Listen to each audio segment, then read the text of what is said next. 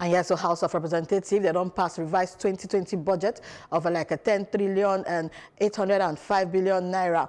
And the budget now the increment of about 296 billion naira from initial 10 uh, 0.5 trillion naira and with them being passed. The House still approved the request of President Muhammadu Buhari to borrow the sum of $5.513 billion as external loan to take fund the 2020 budget. Was also guided by approved amendment the revenue projection by the National Assembly as contained below. Observation in analysis to the bill the committee observed that there were cuts in all items in the statutory transfers.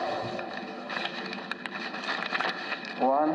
Second, there was an increase in the debt service.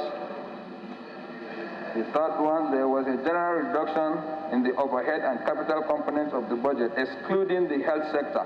Nigerian uh, Intelligence Agency total is 4 billion 365 518.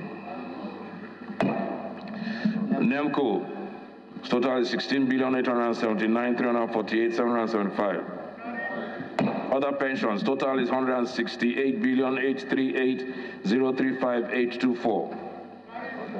035 824. 2 trillion 951 billion 710 million naira only is for debt service.